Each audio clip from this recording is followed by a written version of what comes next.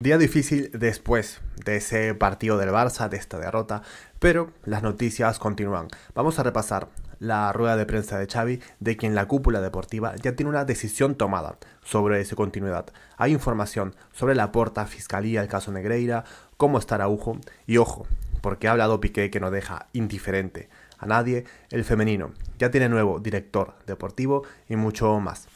Vamos.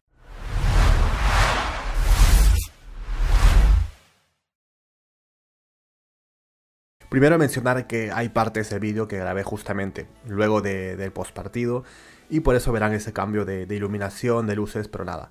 Sin más preámbulo, hay información sobre cómo está la plantilla y es que informa Tony Joan Martí que no oculta que lo mejor va a ser que llegue el parón de selecciones, más que todo porque podría ser terapéutico, que la plantilla admite que anímicamente está tocada tras esta última semana de, de competición, que entiende que las sensaciones hoy no son positivas y que en términos generales la realidad es menos dramática.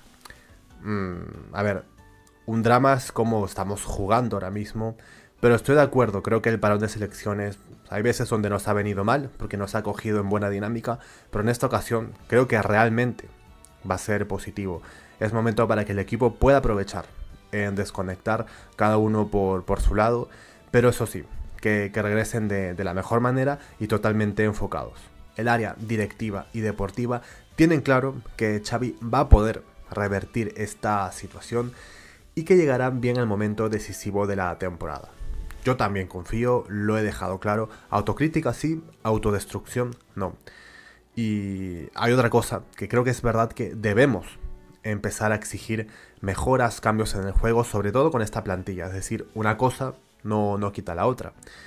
Y volver al punto donde nos habíamos quedado, donde habíamos avanzado bastante porque lo que ha habido últimamente es una involución futbolística y eso sí creo que no se puede permitir a estas alturas. Además, Javi Miguel había mencionado que hubo una charla de 45 minutos donde el equipo hizo catarsis, hablaron los jóvenes, los capitanes y bueno, creo que eso es muy necesario, espero que, ayude bastante, que se hayan dicho las cosas y que sea un punto de, de partida respecto a esa mejora.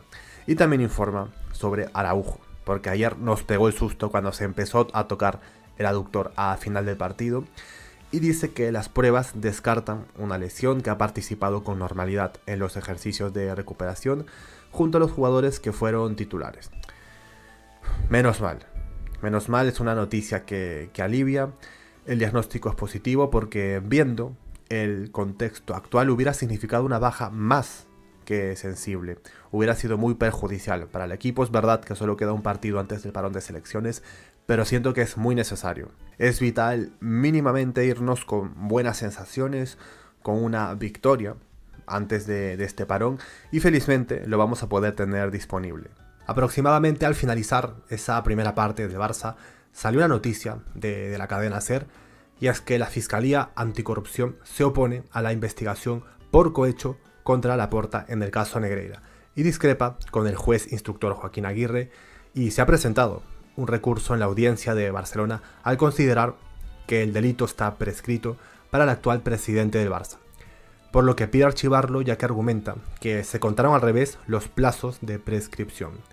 Ya lo había dicho en su momento, como opinión que me parecía absurdo que, que lo haya imputado por cohecho, porque para eso tienen que ser funcionarios públicos no, no tenía ninguna base ni, ni sostén argumental, pero ya hicieron el paripé con el caso Negreira, ya el daño está hecho y creo que la fiscalía hace bien en pedir que, se archive, que, sea prescrito como, como corresponde y veremos cómo va avanzando este tema. Ha hablado Gerard Piqué en entrevista con Raku y ojo, porque ha tocado diversos temas donde voy a comentar por lo menos lo que yo considero interesante y habla primero sobre el caso Negreira, que dice, separando el tema de si hubo pagos, es acojonante que la gente diga que ganemos por los árbitros cuando fuimos tan superiores que no había quien nos pudiera ayudar porque ganábamos por aplastamiento.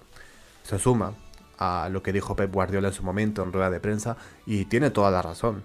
O sea, al final, este caso le ha servido para darle carnaza a la caverna, a los madridistas, para invalidar nuestros títulos, ensuciar nuestra época dorada, desprestigiar el club, mancillar nuestro escudo y todo lo demás que, ya sabemos. Hay una investigación de por medio, no hay pruebas de, de corrupción deportiva y ya está. Luego dice, los nervios y las críticas cuando el Barça no juegan bien, un par de partidos son el pan nuestro de cada día en este club. Pero está bien, es nuestra exigencia, en Madrid estarían encantados, pero aquí creemos que no jugamos bien. Hay que tener paciencia con el proyecto, Xavi conoce la casa y ha mamado el modelo de juego. No veo a nadie mejor que él para sacar esto adelante. Coincido, creo que es el líder indicado, es el entrenador capacitado para este contexto Barça. Por lo menos creo que ha hecho méritos en estos dos años para poder confiar en él, para darle ese voto de confianza y principalmente en este momento complicado, porque es como dice. O sea, cuando el Barça entra en una mala dinámica, te deja una sensación de que la gente quiere quemar todo y tampoco creo que podemos llegar a estos extremos. Exigencia sí, pero por lo menos hay que esperar a, a final de temporada para sacar esas conclusiones generales, ese balance, esas notas y luego dice es muy complejo ser presidente del Barça porque se pierde más de lo que se gana. Visto lo que el club ha hecho por mí, si tengo que ayudar, lo haré. No lo descarto. Pero no lo tengo en la cabeza. Me han querido comprar la empresa. Si la vendo, entonces me enfocaría en ello. Yo creo que tarde o temprano Piqué se va a presentar para ser presidente del Barça. Creo que es, una, es un hecho inminente. Pero claro, de acá al periodo en que suceda, no lo sé. Mm, ahora está enfocado en sus proyectos, en sus empresas, en sus negocios. Pero veremos, veremos qué pasa cuando llega a ser ese precandidato, si llega a pasar la valla, que yo creo que sí, será candidato, y si es que llega a ser un buen presidente. Pero bueno, todo se hablará en su momento. Frankie de Jong le ha comunicado al club que Mickey, su esposa, va a dar a luz esta semana y que eso va a retrasar su regreso. El club esperaba contar con él en este partido contra el Alavés antes de que finalice el parón de selecciones, pero parece improbable. Lo bien que nos vendría ahora mismo, creo que es una de las ausencias que, más ha sentido, ha sido una baja muy significativa y no me imagino lo, lo que se debe sentir y si decide estar presente en el nacimiento, considero que no hay por qué criticarlo, ni mucho menos sentenciarlo, y la verdad que lo vería totalmente entendible. El partido de, Marcos Alonso dejó que desear y hay una noticia que es de Jack Talbot e informa que está en conversaciones con el Atlético de Madrid para un traspaso gratuito, ojo, en junio de 2024. Le ofrecen un contrato de un año, el Barça tiene una opción por un año más, pero es poco probable que el club la utilice. Yo estoy de acuerdo, no, no ha estado rindiendo a la altura, mm, no como corresponde, por lo menos en, el Barça, es verdad que, no cobra mucho, que, es fondo de armario, pero aquí hay que exigir. Así que lo mejor es una salida y enfocarnos en quién podría ser ese refuerzo en el lateral izquierdo, ya sea un fichaje o apostar por Canter. Ayer con el ingreso de Pedri se vio una mejora buena en, en el equipo, pudimos tener digamos un poco más el control de la pelota y a todo ello informa a Javi Miguel que la posibilidad que de la fuente convoque a Pedri abre un escenario de preocupación en el Barça al considerarlo un poco prematuro. Es que tienen toda la razón. Yo entiendo que, claro, si está ya que recibió alta médica, va a ser seleccionable. Pero ¿cuál es la prisa? No, hay ningún apuro en, en, llevarlo ahora con la selección. Al fin y al cabo el Barça es el que le paga. Luego que por jugar unos partidos, digamos, intrascendentes, va a tener alguna recaída, va a volver a lesionarse y otra vez vamos a tener que esperar, vamos a tener otra baja sensible. Es que me parece absurdo. siempre el parón de selecciones termina perjudicando al equipo de una u otra manera. En el último, menos mal, no pasó nada y esperemos que esta siga, en la misma dinámica. Yo espero que ojalá Pedri no, no vaya convocado y por último, si es que va, que solo sea para disputar entrenamientos y que no sea exigido, porque creo que ahora mismo no toca. Vamos con la rueda de prensa de Xavi donde he hecho mi resumen y ha dejado cosas muy interesantes. Empieza diciendo, estamos en un momento bajo en cuanto a juego, pérdidas de pelota y entender cómo atacar.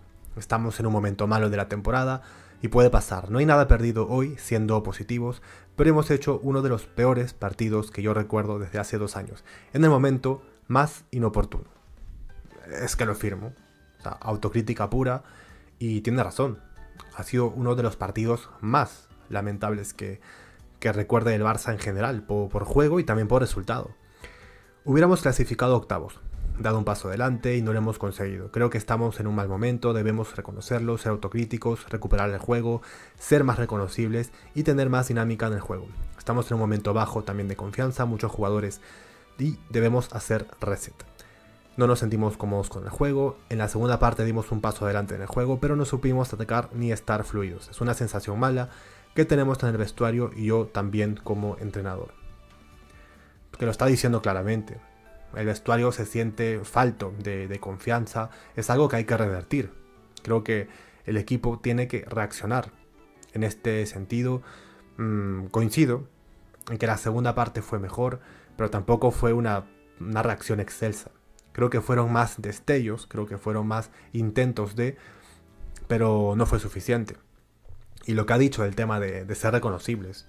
Se ve un Barça que al contrario, que ha involucionado y debemos volver a recuperar justamente ese estilo de juego.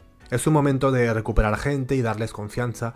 Creo que lo hemos hecho en muchas ocasiones de mejor manera que estos últimos partidos. Es una pena y debemos continuar. Hemos hecho un mal partido, creo que el Shakhtar ha defendido bien, se han ido la mayoría del partido. A bloque bajo nos han generado problemas en transiciones y contraataques. Hemos estado en el partido hasta el final, pero no generamos lo suficiente como para mínimo empatar. La frase que he elegido es, es una derrota merecida porque no estuvimos bien, después de dos años. No clasificarnos para octavos es una oportunidad perdida. Hoy no podíamos fallar y es un gran error nuestro. Es que no podíamos fallar. Lo dije justamente en el postpartido, que después de dos años de, no clasificarnos directamente a octavos de final, cuando teníamos la oportunidad, era el momento de salir a comernos el campo. Y, el equipo no lo ha hecho.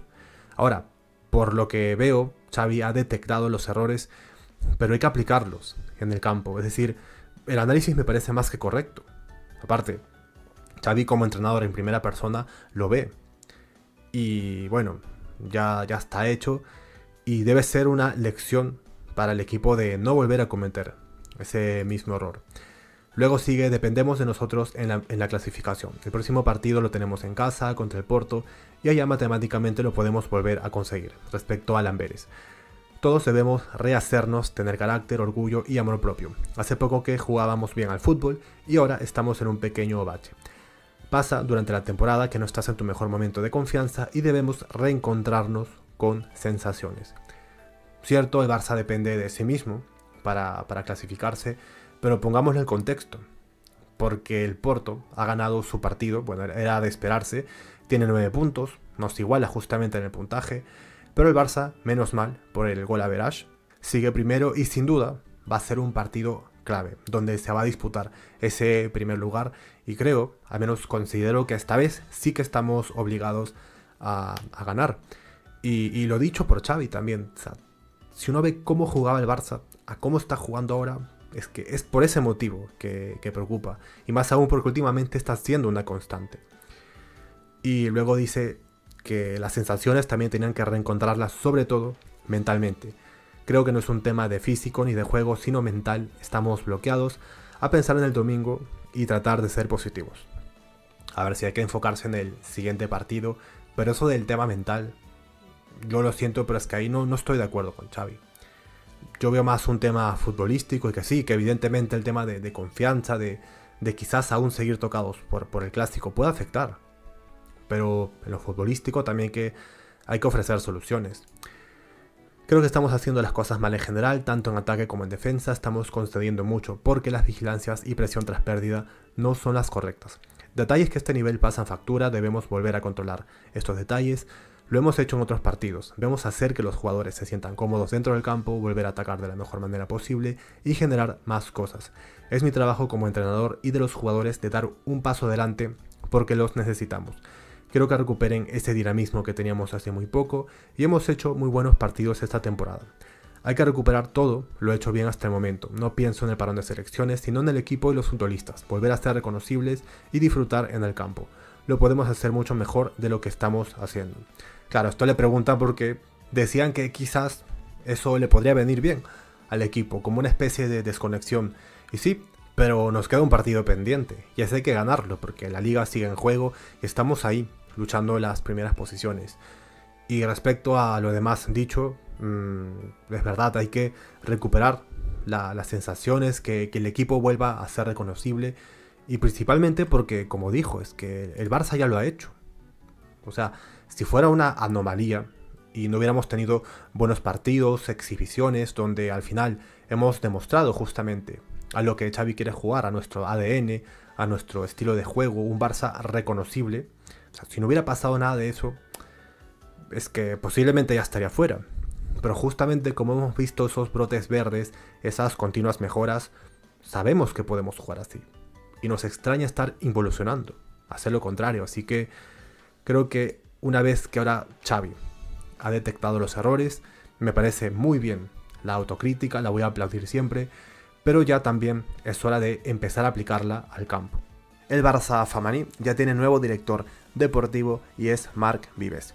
Tiene experiencia en estructuras de, fútbol femenino, estuvo en la Federación Catalana, en el Vice Kobe, fue digamos quien apadrinó a Jonathan Giraldes, nuestro actual entrenador, y además ha coincidido en la formación de jugadoras como Aitana Bumati, Patrick Jarro, Claudia Pina y Ona Bacha. Así que confío, creo que estamos en buenas manos, es una tarea complicada por el legado que se ha dejado, es importante darle continuidad al proyecto y mucha suerte y éxitos. Así que nada, espero que les haya gustado este vídeo, no se olviden de dejar su like, también de suscribirse, déjenme su comentario, que de estas maneras me estarán ayudando y apoyando bastante en este proyecto, en este canal, y ya nos vemos en el siguiente.